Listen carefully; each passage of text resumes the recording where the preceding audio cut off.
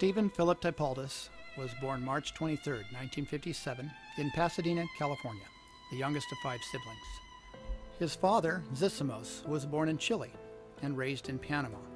He completed a master's degree in physics at the University of California, Berkeley, where he met and married Joyce Imig, Stephen's mother. They divorced in 1959 when Stephen was only two, but Zissimos continued to support the family until his untimely death by heart attack at the age of 51. Stephen was then 14. When Stephen was five years old, his mother married Harvey Weaver. Stephen spent much of his childhood out of doors and developed a deep and lasting relationship with all kinds of animals, particularly snakes and reptiles. To say his childhood was unusual would be an understatement. In addition to playing with snakes, he loved playing baseball and dreamed of being a major league pitcher. In high school, he ran track and field, but his love of herpetology led him to pursue a degree in biology at the University of California, Riverside. Always wanting to do the best, he applied for the graduate program at Harvard and was granted an interview with Dr. Edward O. Wilson, one of the leading figures in the biological sciences of the 20th century. In college, he met Sherilyn Schaefer, a student at Loma Linda University. She was Seventh day Adventist, and she encouraged him to look at a career in medicine. His brother in law, Mark Waters, was attending Logan Chiropractic College in St. Louis, Missouri, and his sister Melanie taught biochemistry there. He applied and began school there in 1979. He and Sherilyn were married at Christmas that year. Dissatisfied, he sought the advice of his mentor, Dr. Andresen, and with his encouragement enrolled at the University of Health Sciences College of Osteopathic Medicine in 1982, two months short of completing his chiropractic degree. He joined the Army Reserve to help finance his osteopathic degree. His son Alex and daughter Brooke were born while he was at the University of Health Sciences in Kansas City.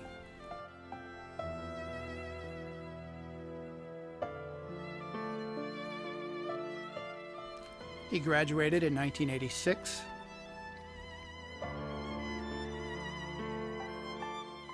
And he completed osteopathic rotating internship at Parkview Hospital in Toledo, Ohio in 1987.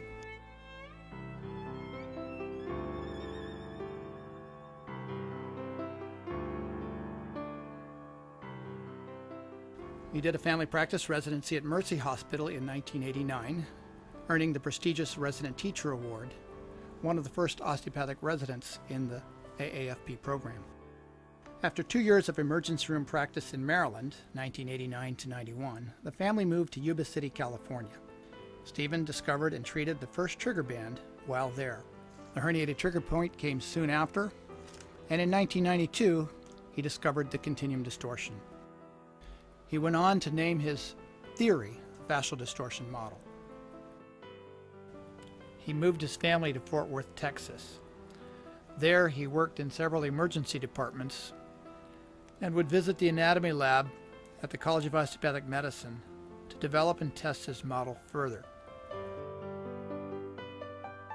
He began writing and published several papers in the American Academy of Osteopathy Journal in the spring of 1994, which were further republished in the British journal The Osteopath in the spring, summer, and autumn of 1995.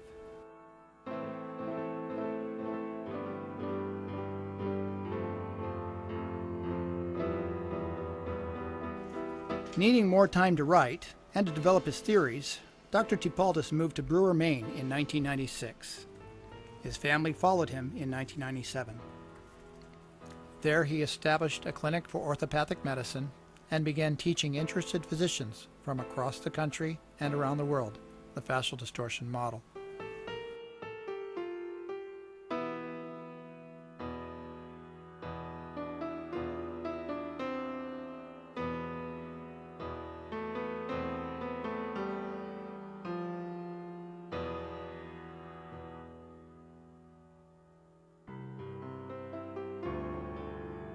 It was during 1996 that he wrote the prototype of his book and called it Orthopathic Medicine, the unification of orthopedics with osteopathy through the fascial distortion model. Only 50 copies of the prototype were printed, and most of them were given to students in the course. It was while reading the initial prototype that Marjorie Caston, his trusted assistant, came on board and began a long and successful working relationship that ultimately ended up in the production of four editions of the book. Without the Bangor Letter Shop and its owner, Irv Marsters, the publications of the books would not have been possible. In March 1997, Dr. Typaldos gave a lecture on the trigger band technique at the American Academy of Osteopathy convocation. Later that year, he presented three day seminars on the fascial distortion model at schools of osteopathy in France, Austria, Portugal, and Kirksville, Missouri.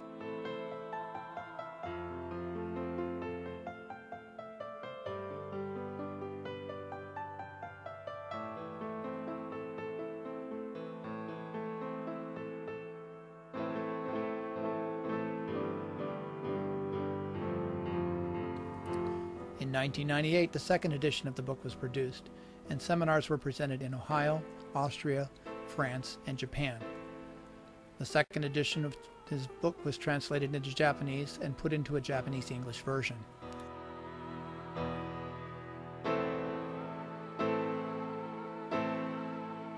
In 1999, the third edition of the book was published and translated into German. Seminars were presented in Portland, Japan, Austria, France, and Bangor, Maine.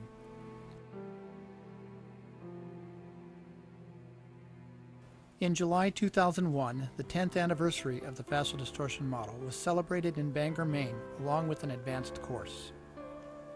Following September 11, 2001, Georg Harrer, MD, was asked to teach the Level 1 courses in Europe and in the United Kingdom, and Dr. Typaldos continued teaching Level 2 courses, mostly in Germany. Kyosuke Tanaka translated the fourth edition of the book into Japanese and began publishing it in 2004. In 2002, after being very discouraged by disloyalty amongst some of his followers, he decided to shift his focus. He fulfilled a promise to his children by writing and producing a musical play about a girl from Maine who went to Mars.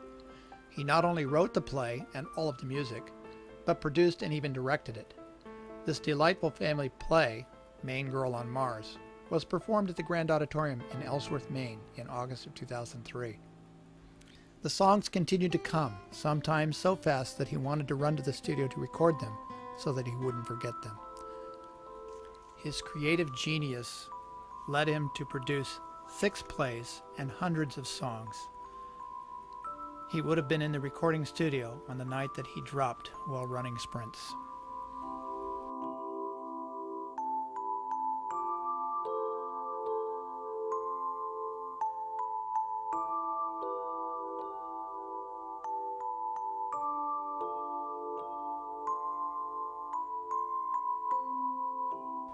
Steve remained an avid sportsman and outdoorsman, playing baseball, hiking,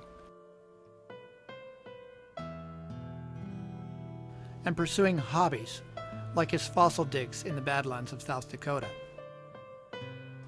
It was in 2004 that the special relationship between Dr. Typaldos, the FDM, and ACOMA began.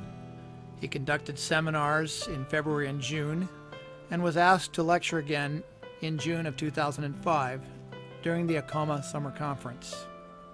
He arranged an FDM international meeting so that his friends from around the world could join him in the friendly atmosphere of Alaska. It is said that Alaska and ACOMA will always hold a special place in his heart because we here provided the warmest reception to him and the FDM. His friends and associates report that he would return from his Alaska seminars rejuvenated and revitalized and those of us who participated in his presentations will always be indebted to his impact on our lives. At the International FDM meeting, several representatives from around the world were present.